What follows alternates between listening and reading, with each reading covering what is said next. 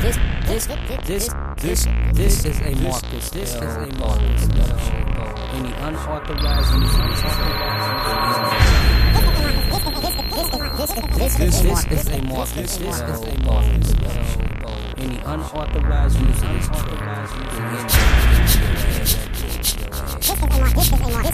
this This is this is a Marcus. This is a Marcus. This this is a Marcus.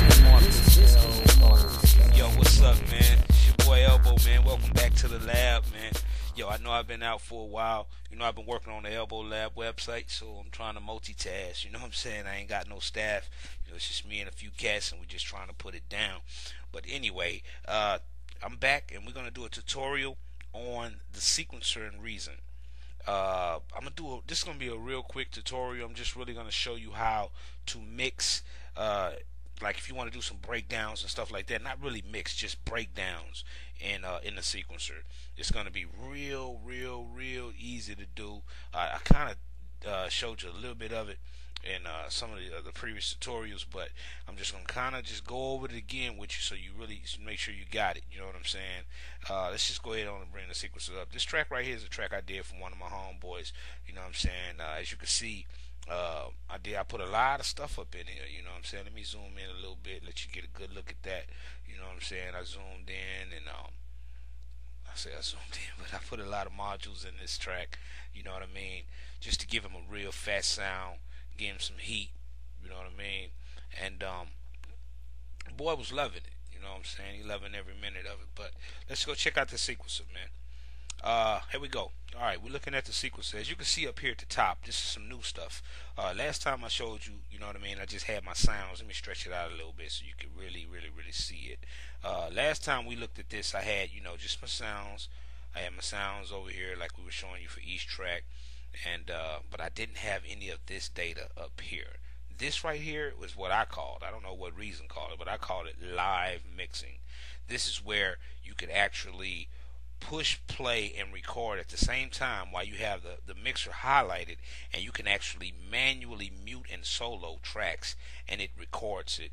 And you know you can drop that like that and, and you know and it's, it's done you know what I'm saying? And then you can actually go in and modify the uh, the breakdowns you did if you wasn't on cue if you wasn't on point with your breaks. So love it to death, man. This this is I always liked it doing my mixes kind of live a little bit before it's my breakdowns or whatever.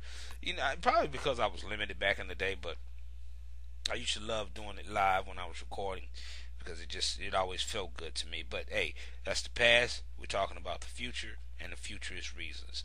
So let's go ahead on and let's delete all this stuff here because uh, we're not going to uh, we're not going to do any live mixing right now because I'm not using my camera, so you know you won't be able to see me doing it. So, and the reason why I know you guys probably wondering, man, what happened to the camera, but I'm actually on my Mac right now, so uh, I'm gonna start trying to do some things from the Mac. So I'm probably gonna end up going away from the camera.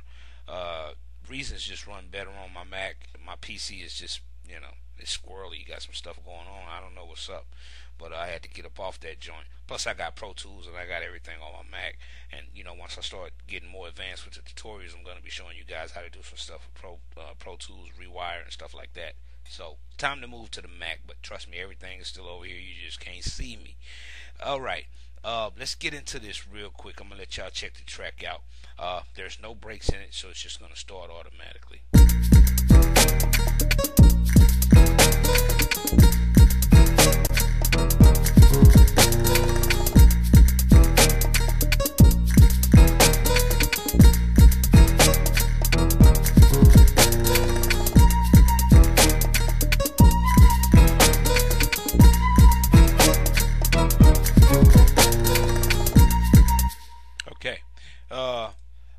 Let's just start kind of doing a breakdown. Okay, the way I want this to start is I want to be able to start with my I want to start with my uh, violin first. So what I'm gonna do is I know that my violin is track number one.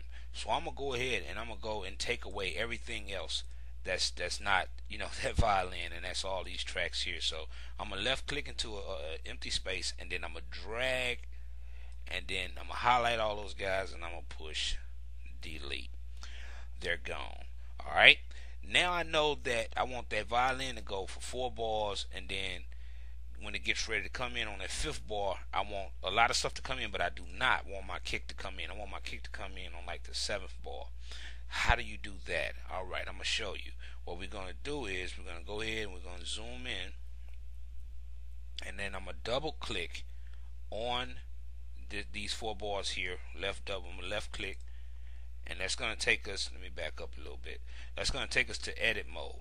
Now, here go the arrows. These arrows, are, you know, I might be moving a little too fast. Uh, you see these little these little arrows on each side. This is how you could you can make the uh, you can make those four bars of my kick of the kick smaller, or you can you know keep it the same size. You can make you can take away from it. You can put add to it, so forth and so on. I want this kick to come in on a snare on the seventh bar. So how do you do that? Okay, I can actually just you know slide it and get it to right there. But one thing I'm gonna let you know real quick is that, and I told you in the last tutorial that I was gonna talk about the bar uh, box up here, radio bar, uh, radio box. This is for I use this for editing, and I I want to say everybody else probably uses it for editing.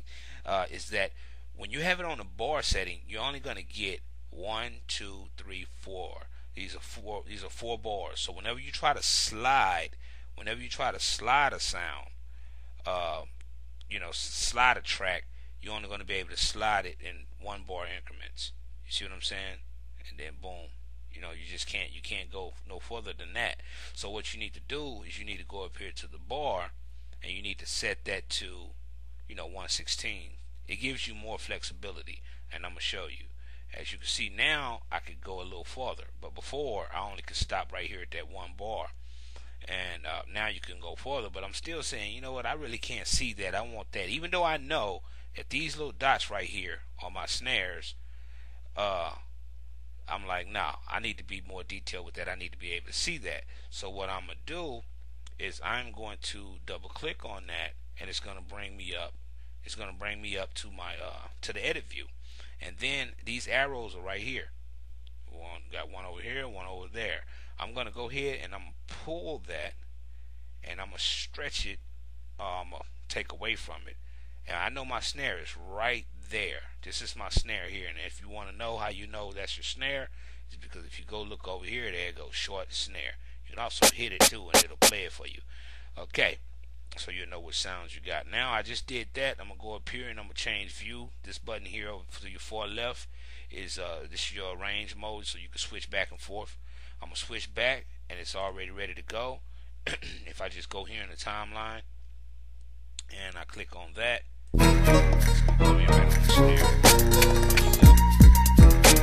and for the people that didn't hear that I'm gonna go over here and I'm gonna solo that and then we're gonna go back and then I'm gonna let you hear it again. Right on the snare.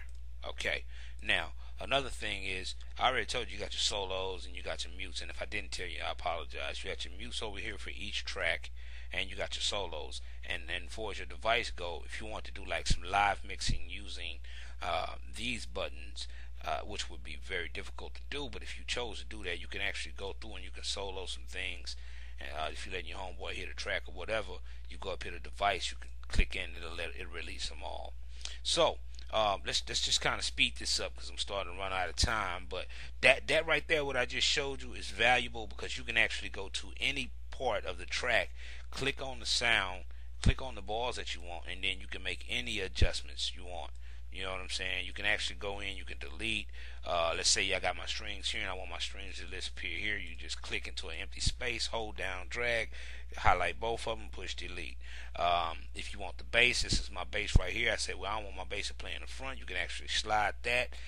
Then the bass will play it will come in on um, that board. It won't come in right. You know, it's four boards, but I just made it two because I took away two. Um, and if you say, hey, I don't want my kick to play here, so forth and so on. So you see what I'm saying? This this is very, very, very easy uh, editing. Uh, it could get more complex. I just kind of really just had an, uh, an urge to jump in here real quick and kind of show you some quick ways you can just go in and edit, and you can slide stuff around, and you can click on stuff and move it you know, if you want to move it around or whatever.